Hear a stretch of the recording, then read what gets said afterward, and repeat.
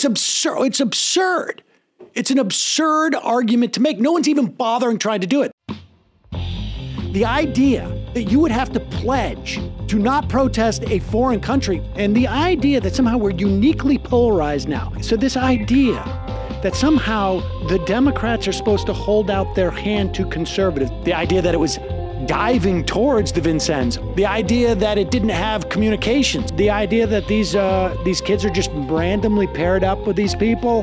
The idea that there's no agency amongst human beings. The idea of putting us all through this type of anxiety. But the idea of Democrats echoing this unabashed racist. The idea that we can look at the word imminence, that evidence of something about to happen is stuff that happens prior to stuff about to happen is absurd. It's absurd.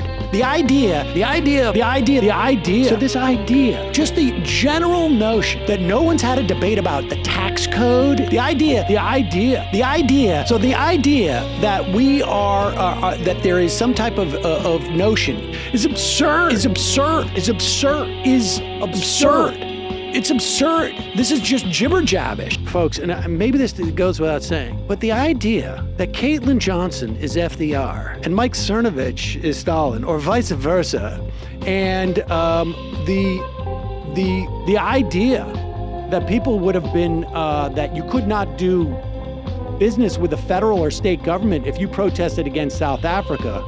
The idea that you would elevate certain people Look, the idea that you don't think that they are morally worthy, the idea that this is all about physics, and the idea that AOC can leverage anything from Andrew Cuomo at this point, the idea that people need to curry favor with me, the idea that you would say, to Justice Democrats. The idea that, um, regardless of what we have in terms of casualties, that we must respond is absurd. Is absurd. Is absurd. Is absurd. I would find that very, very hard to believe.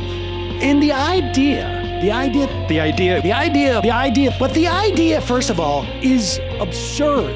That being said, like, the idea is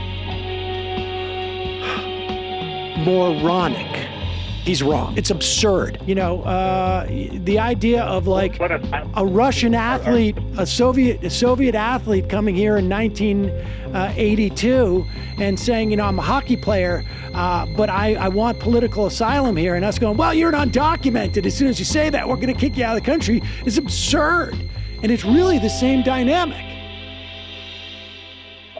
Well, okay.